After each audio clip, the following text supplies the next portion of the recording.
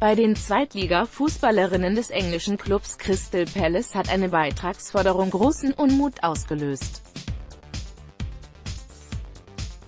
Einige Spielerinnen sollen entweder 250 Pfund, rund 280 Euro, an Sponsorengeldern beschaffen oder die Summe selber zahlen, ansonsten droht ihnen der Vereinsausschluss. Erlebe die Premier League live und auf Abruf auf der ZN. Jetzt Gratis-Monat sichern. Der feste Stamm des Frauenteams muss den Beitrag laut Vereinsangaben allerdings nicht bezahlen, wurde jedoch zur Sponsorensuche ermutigt, um das Profil des Clubs zu verbessern und Verbindungen mit der Wirtschaft zu knüpfen.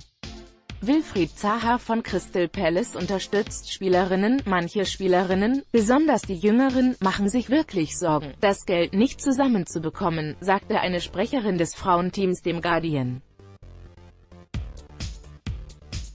Von der Vereinsführung hätten die Frauen einen vorgefertigten Brief bekommen, den sie an mögliche Sponsoren weiterleiten sollen.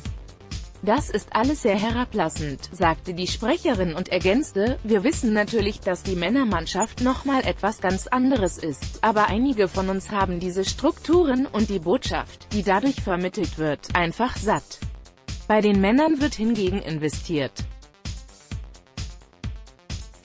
Der Ex-Schalker Max Meyer soll wöchentlich rund 190.000 Euro verdienen. Der ivorische Nationalspieler Wilfried Zaha bekommt nach Angaben des Guardian 143.000 Euro in der Woche.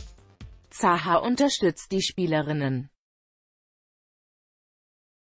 Wir freuen uns mitteilen zu können, dass sich Wilf Zaha an den Club gewandt hat, um einen substanziellen finanziellen Beitrag zu leisten, um die Entwicklung unserer Amateurspieler zu unterstützen, teilte der Verein mit.